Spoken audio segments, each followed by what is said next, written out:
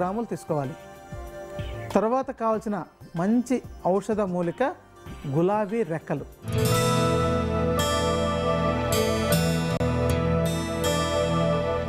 గులాబీ రెక్కల్ని అంటే గులాబీ పువ్వులను చూడగానే చాలామంది ఇది తలలోకే కదా పెట్టుకుంటారు ఇక్కడ కూడా ఔషధంగా ఉపయోగించుకోవచ్చా అనే అనుమానం కలుగుతుంది.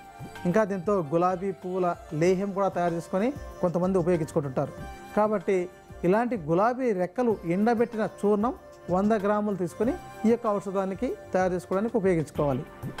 తర్వాత మన ఇంట్లోనే ఉండే మంచి ఔషధ మూలిక ఏంటంటే జీలకర్ర.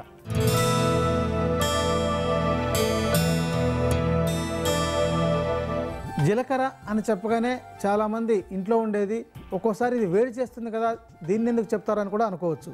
కానీ కొన్ని రకాల మూలికల్ని కలిపినప్పుడు వాటితో పాటు ఇది కూడా వాటికి అనుకూలంగా ఔషధంగా పనిచేయగలుగుతుంది. అందుకనే దీన్ని గ్రామీణ ప్రాంతాల్లో అసలు ఒక్కొక్కసారి వేడి చేసినప్పుడు అంటే ఉష్ణం పెరిగినప్పుడు ఉష్ణే ఉష్ణేన శీతలం అని చెప్పని అంటారు.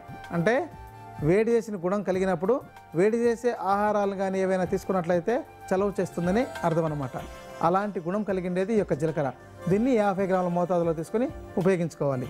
తర్వాత కావాల్సిన మంచి ఔషధం ఏంటంటే ధనియాలు.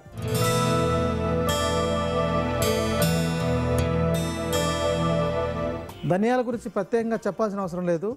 అయితే కొంతమంది వేడి చేసినప్పుడు కేవలం ధనియాలనే దంచి కషాయం కాచి ఆ కషాయంలోకి కొద్దిగా చక్కెర కలిపి తీసేసుకుంటుంటారు. అలా చేస్తే కూడా మనకు వేడి తగ్గిపోతుంటుంది. అంటే ఇది మామూలుగా సాధారణంగా అప్పుడప్పుడు వేడి చేసింది అనిపించినప్పుడు వెంటనే మన ఇంట్లోనే చేసుకోగలిగే మంచి ఔషధ ప్రక్రియ.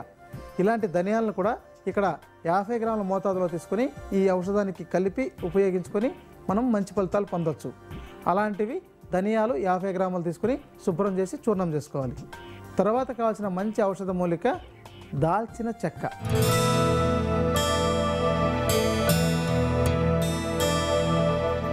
దాల్చిన చెక్క మన ఇంట్లోనే ఉండేది కాబట్టి దీనిని పగలగొట్టి అంటే చిన్న చిన్న ముక్కలుగా చేసి చూర్ణంలా తయారు చేసుకొని ఈ చూర్ణాన్ని యాభై గ్రాముల మోతాదులో తీసుకోవాలి.